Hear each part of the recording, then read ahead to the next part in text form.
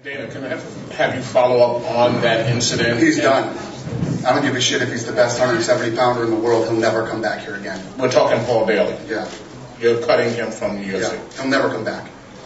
I'm I'm probably the most lenient guy in, in sports, and this is probably one of the most lenient organizations. And I, uh, you know, we're all human. We all make mistakes. Things happen. There's no, there's no excuse for that.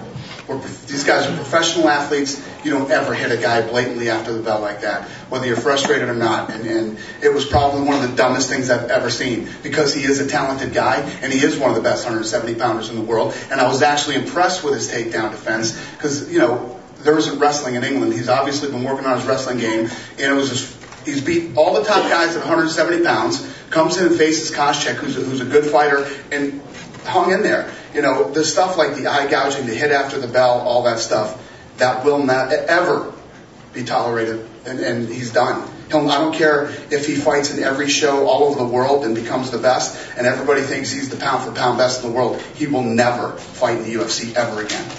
Done.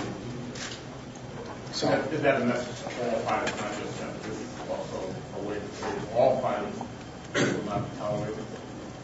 No, just him. No, just him.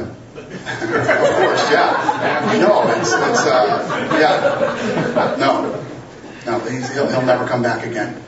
Never. Was it over the, the sucker punch, the eye gouge, or just every Sucker punch. Yeah, it was a sucker punch. You know, um, you know. Sometimes things go on in there and, and stuff happens. I, I don't know about the eye gouging. You know, you don't know if that actually happened. I can tell you, I know he actually punched him long after the bell when he knew. When I went in there and talked to him after the fight, you know, uh, I, he said I didn't hear the bell. That's what he said. So it won't be tolerated. You know, Does he still get paid tonight, Dennis? huh? Still get paid tonight? Will he get paid? Yeah. I have nothing to do with that. Yes, I'm going to pay him, and then the com- uh, he'll never fight in the UFC again, and the commission's going to do whatever they're going to do.